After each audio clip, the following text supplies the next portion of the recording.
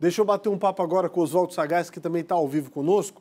Um morador tem denunciado a continuação do processo de água que tem jorrado assim, e dá para ver na imagem claramente, nós vamos mostrar, nas dunas da Joaquina. Entender melhor, o Sagaz foi em busca de mais informações. Ontem mesmo, o engenheiro da Casan falou com a gente ao vivo sobre a questão. Sagaz, é contigo.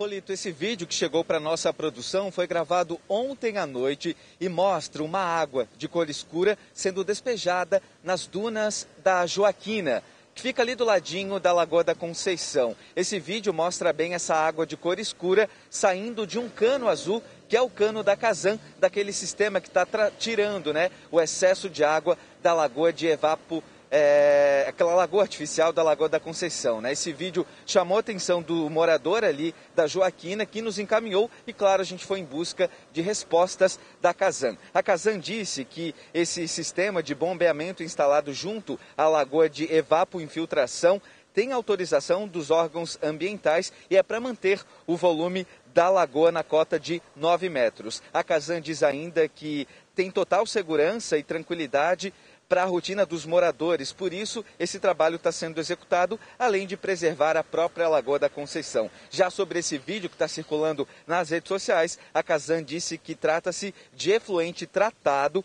misturado à água da chuva, ou seja, não é água poluída, comumente é, essa água é devolvida à natureza. A areia onde foi instalada a saída desse sistema emergencial de bombeamento é uma área de alta absorção, não traria impactos ambientais, segundo a Casan. A gente continua acompanhando de perto essa situação envolvendo a lagoa artificial na Lagoa da Conceição aqui em Florianópolis. Polito.